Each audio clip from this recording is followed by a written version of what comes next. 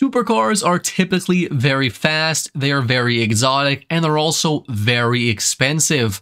But what if we made a supercar that wasn't any of these things?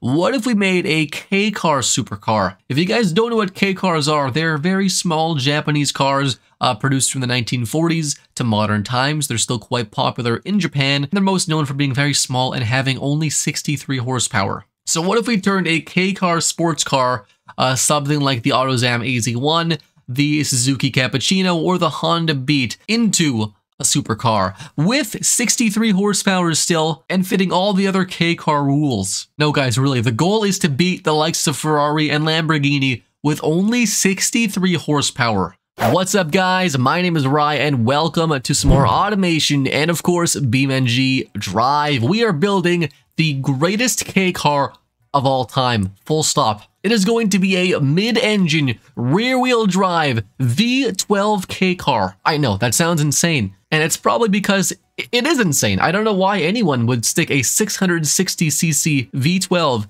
into a tiny little rear-wheel drive sports car. So today's goal is building a K car that fits K car rules. It's going to have 64 horsepower or less. It's going to fit all the size constraints and it's going to be quite cheap as well. But it's also going to be a, a supercar. It's not going to be the fastest supercar of all time. It's not going to be the fastest sports car of all time, but it's going to be probably one of the quickest K cars of all time. Definitely quicker than all three cars I mentioned. So the first thing we need to do is choose the body. And I, I thought nothing better than a supercar-esque body. Okay, so we're gonna click this body right here. I'm not exactly sure what it's based off of. I know it's based off of a real-life car, so let me know in the comments down below if you guys know what it's based off of. We're going to choose the little gull wing door model because it's so adorable, and I think this will be perfect for a V12 supercar. Panel material fiberglass. We're not going crazy. It's still going to be quite expensive, but it's not going to be like as expensive as even a normal car.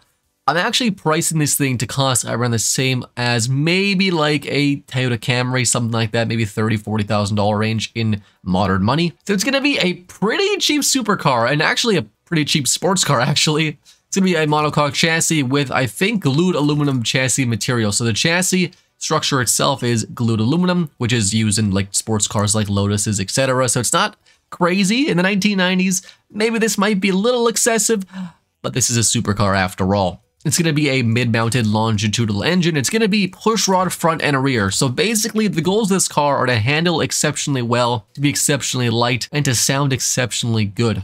We're going to make a new engine. We're going to call this the, um, the, the V12K Sport Extravaganza. I don't know. I don't think that's spelled right, but it's okay. Variant name? Car. Engine block, obviously it's going to be a V12 60 degree angle. It's going to be all aluminum with four valves per cylinder. I actually probably could go push rod because we would save like a considerable amount of weight. One thing you'll probably notice is the engine's actually too large. It's actually 942 cc's, whereas K cars are strictly 660 cc's or smaller. Well, if we go to the next tab here, we can actually make the capacity a little smaller. So now it's 660 cc's. Perfect. See? Uh, exactly pretty decent internal structure. Um, it's going to be an expensive engine, let's be honest, guys. The engine is going to be quite expensive. Definitely the worst horsepower per dollar engine ever made. And let's just yoink this red line up just a little higher. It's going to be a 10,000 RPM V12. Yeah, it's gonna sound good. And they actually recently, I mean, I say recently, it was like a, a, month back, they updated the V12 engine sounds, so it sounds absolutely godly. We'll hear that in just a second. It's gonna be naturally aspirated though. Go for a single point electronic fuel injection and a little bigger manifold, maybe 60, and race intake. Let's keep this all the same. Let's go for the same size exhaust. Let's go for a catalytic converter and just one straight through muffler. So right off the bat here, it makes 56 horsepower, which is pretty gosh darn good. We could probably increase the red line actually further, which would be amazing. Let's go maybe 10,500 RPM. We change the header just a little bit here, so we're making a little too much horsepower. So we'll go ahead and just like, I don't know, strangle it just a little bit, maybe. Okay, actually, it needs strangling. All right, so we increase the red line now to 11,000. We tweak the cam profile, the lifters, and the exhaust size just a bit. Now it makes 64 horsepower and 37 pound-feet of torque, which is pretty, it's, it's fine. It's fine. It's got no torque at all, but it's got horsepower, which is really all that matters. and it revs to a glorious 11,000 RPM, which is absolutely insane for an engine such as this. About a month ago, they actually updated the V12 sounds, so it sounds way different and so, so, so much crazier. Let's just take a listen and hear what the V12 K-Sport Extravaganza sounds like.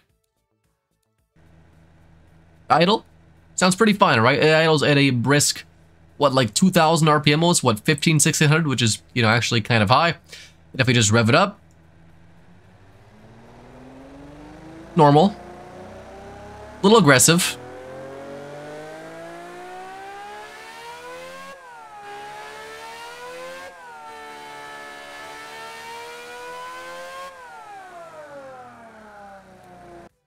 Yeah, that sounds pretty good. I think that sounds pretty insane. Sounds like a race car, which is the goal of the build. Now we're gonna go ahead and choose the body, which I think we wanted the this one. So there's this one, which is normal doors, but I want gull wing doors because this is a supercar. I kind of want this one, but it just looks too absolutely insane to be realistic at all. So we're going to go for the, the Gullwing one. It's going to be an automated single clutch manual gearbox. So it's going to be a like a sequential gearbox.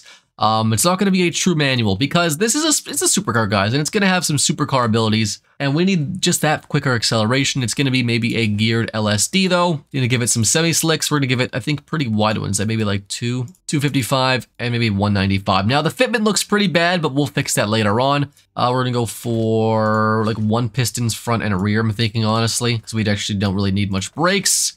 No entertainment, because this is a supercar after all. It's a 90s supercar, so entertainment is an optional extra. Manual rack and pinion steering. We're gonna go for just ABS probably.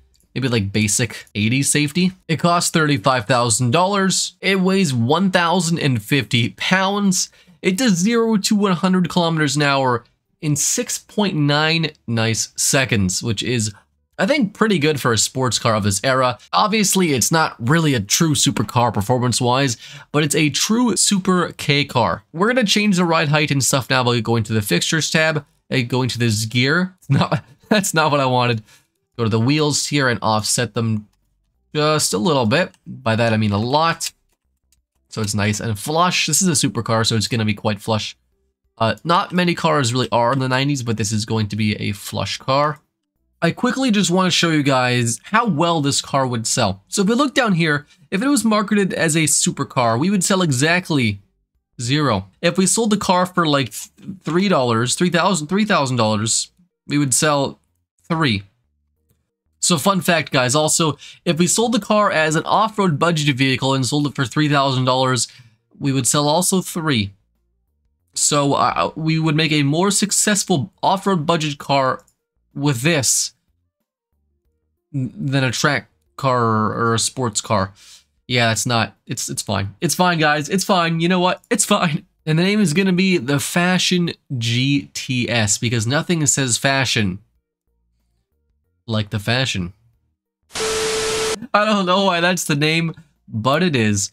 So what we're going to do now is design the car in a time lapse. I'm going to go over all my design tips and tricks, and then we'll hop into BeamNG Drive and see how it drives. So sit back, relax, guys, and enjoy.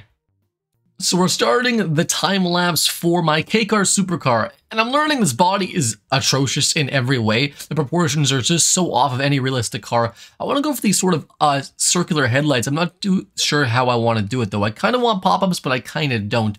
So I play around with these sort of rectangle headlights with some pop-ups above it so it has even more rectangles.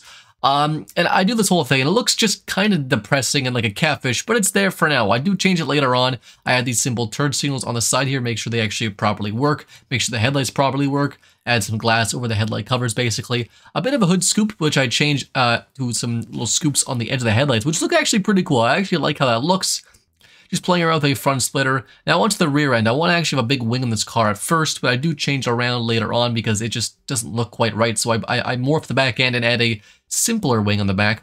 Going to the back end now, add these quite simple taillights, which look kind of, you know, if they fit the car nicely, they're kind of fun. Adding a very simple diffuser with, I think, dual exhaust is what I'm going to do. So just dual center exhaust. Tuning it for about 63 horsepower or so. Adding these sort of upright dual exhausts that sort of stick up a little bit as well. And a rear grille and then adding some side trim, which I do delete, and then going back adding some rear trim, and now changing the headlight just a little bit more because they still don't really suit my fancy here, and I will just tune them and change them after, adding one single wiper, uh, playing around with some mirrors, a door handle at the bottom of the gull-wing doors, a rear intake, a side skirt, changing the tires to these sort of unilug, uh, really weird like monoblock kind of, kind of wheels, adding some badging to the front and back, adding a emblem to the middle front of the car. And in front of us is the 1997 Altris Fashion GTS.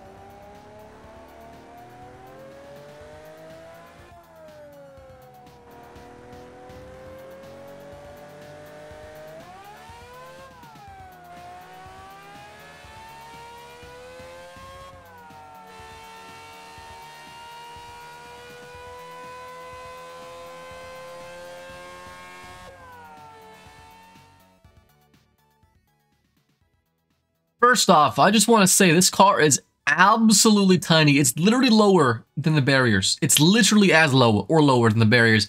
Absolutely insane. I also want to point out I modified the front end looks just a little bit um, because I didn't like how it looked quite exactly, so I changed it a bit. Um, I also edited the car in J-Beam. So what I did was make it so it revved a bit faster, which I think fits the car's vibe a lot more because this car's vibe is about experience. It's not about performance. Although you guys will soon realize that this car actually has some serious performance credentials, okay? This is a 1997 sports car, supercar, right? Some competitors would be things like maybe the Chevy Corvette ZR1, which had, I think, 400 horsepower. It did 0 to 60 in about 4.9 seconds. Also, the Lamborghini Diablo, which is about 4 seconds to 60, which is obviously insane, and so on and so on. Those cars are 4 or 5 seconds 0 to 60, which is kind of out of this car's league, but it's not. Not at all. Okay, we're going to start this car up now.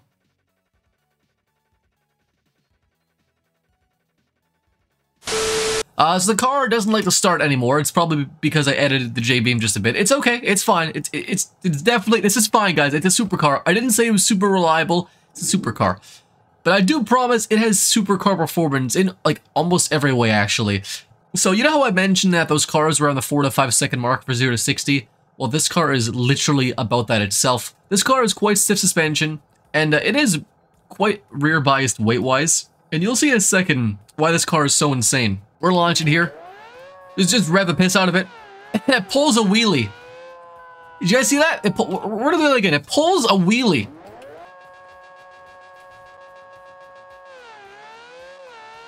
Dodge Demon, eat your heart out because this thing did it first, okay?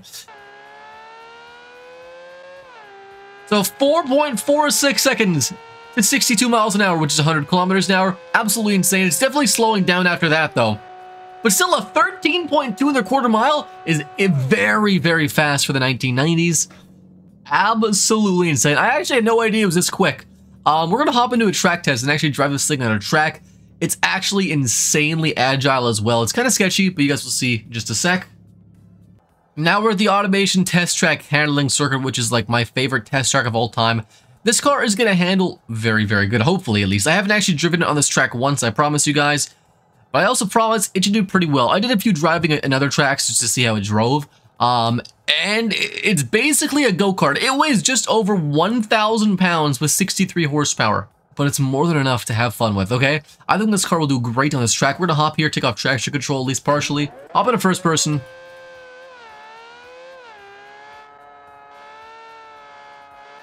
Now, I've got zero seat time on this course, guys.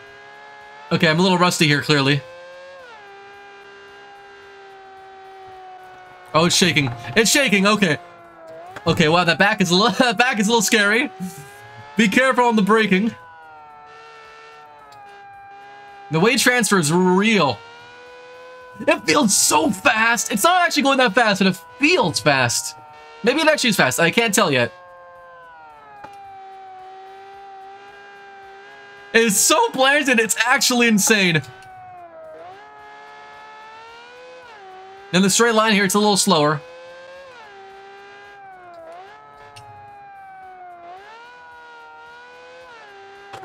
Little sketch in the dirt there. Gotta be careful.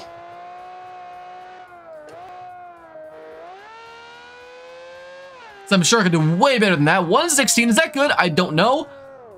Okay, that's my that's pretty much my best time ever. I know we can shatter this record. I know we can shatter the record. Um, the last the last record was 2021 with a like a very heavy supercar. Honestly, I'm gonna try one more time, and I'll just sort of skip to the the best bit of that because I, I want to see can we do better. All right, try number two. My seating position's now changed. My sleeves are rolled up. We're gonna get a good launch this time.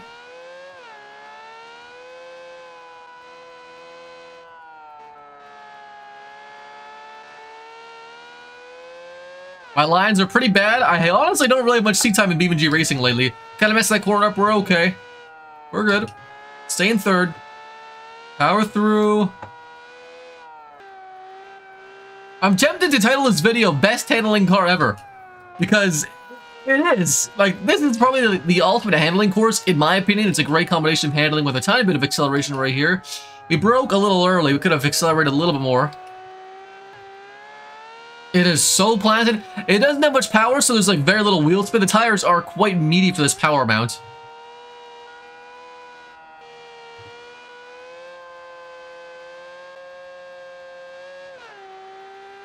Come on. There we go. 115, new record, which is actually pretty nuts. I, I'm sure we could break like 110 in this thing, I think. Um, if we really, really do good. I think this is like a 110 car absolutely insane. We'll hop into the jump arena and see how it jumps. All right, so we're at the jump arena. I accidentally spawned my car next to the the Wigeon, and I just want to see, look how tiny it is.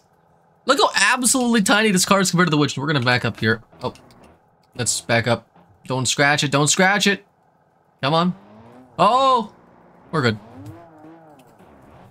It's about the same size as the Wigeon, at least width-wise, right? And a lot lower height-wise, uh, but nothing else really. So if we just go ahead and just move the Wigeon out of the way here. No, that's not. Just do that. Over 100 miles an hour, pretty quick. We are pretty much at the top of our speed now.